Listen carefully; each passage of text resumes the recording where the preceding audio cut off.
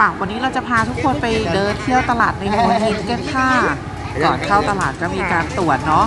แล้วก็มีการมีสแกน QR code ค่ะแล้วก็ล้างมือก่อนเข้าตลาดนะคะเดี๋ยวเราไปดูซื้อกุ้งซื้อปลาหมึกซื้อปลากันในตลาดนี้กันเลยค่ะ ตลาดหัวหินกันค่ะบอกตามโทรลิกกับคุณพ่อเข้าไปดูกันข้างในเลยค่ะ ทุกคนเขาเรียกตลาดสด ว้าว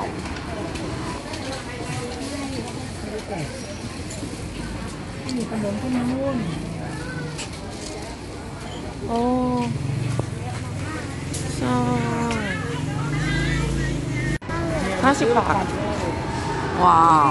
มีนี่ด้วยค่ะอาหารแห้งตลาดชัดชัยเนี่ยก็คือจะขายอาหารทะเลอ่าแล้วก็พวกอาหารแห้งค่ะ ใครมาหัวหินก็ต้องมาช้อปปิ้งกันที่ตลาดนี้นะคะ ของถูกค่ะ ไม่ถึงกับแพงมาก แล้วช่วงนี้นะคะเป็นช่วงโควิดด้วยอาหารทะเลก็จะถูกและถูกมากจริงๆค่ะเออมีน้ำปูน้ำใช่โลเท่าไหร่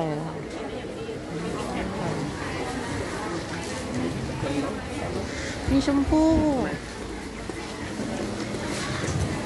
อันนี้คือตลาดสดแล้วนะคะทุกคน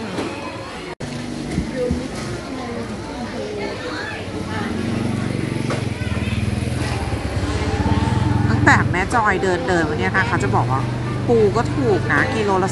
280แต่กุ้งเนี่ยกุ้งแชร์บวยถูกมากๆเลยนะคะ กิโลละ 240 เองค่ะตกประมาณ 12 ตัวโลนะคะโหอันนี้คือแม่ซื้อร้านนี้เลยค่ะ ซื้อมาโลนึงแล้วก็ซื้อปู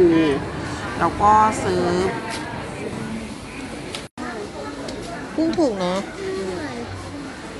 ดูข้างในหน่อยคงไม่ค้า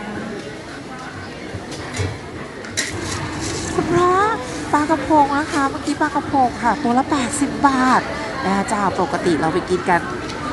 โทรลิแพงมากที่เกือบตัวละ Lobster 80 บาท กุ้งมังกรกุ้งมังกรค่ะทุกคนกุ้งมังกรเห็นไหมเห็นกุ้ง lobster ไหมตัวใหญ่มากเลยอะ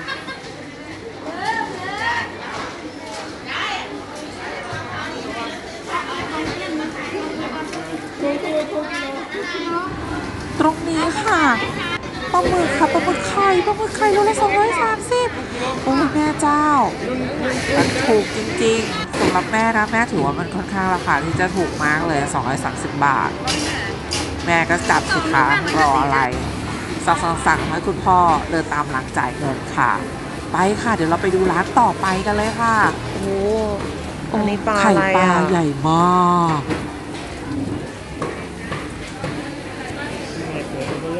ฮะ นี่ลูกน้ำเปียก เดี๋ยวไฟมันจะดับไปโดนน้ำอะกี่ขีดอะพี่ถุงเลยอะอันนั้นไม่ไม่ได้ช่างถ้าซื้อเป็นโลจะช่างอันนั้นเป็นชุดห้าสิบบาทห้าสิบบาท มีน้ำจิ้มของอ๋อถุงนึงค่ะดูลองจิ้มสิลูกต้องจิ้มอันนี้ด้วยพี่เผ็ดเลยมันเผ็ด ก็ไม่เคยกินพริกค่ะ เป็นไงลูกกึบกึบๆเขาเรียกสาหร่ายพวงองุ่นหรอ อืม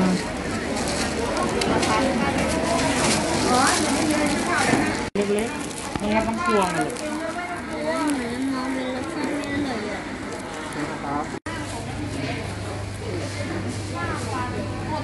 ะ ของคาวจบคราวนี้เราต่อด้วยของหวานค่ะ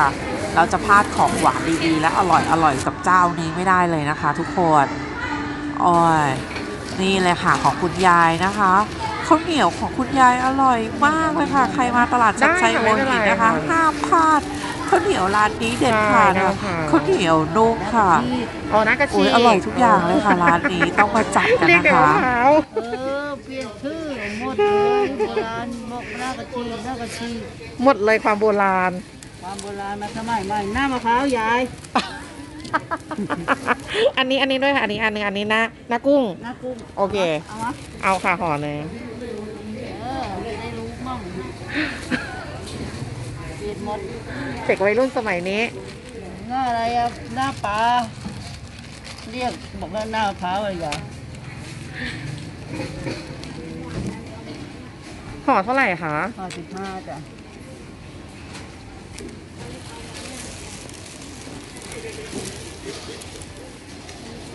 แม่สนาเท่านี้แค่นี้เนาะเท่านี้จ้ะถ้าใครชอบคลิปนี้อย่าลืมกด subscribe กดกระดิ่ง กดหัวใจ กดติดตามให้แม่จอยและน้องโทริด้วยนะคะ ที่ช่องโทริพานั่งรถไฟค่ะ วันนี้ทุกคนบ๊ายบาย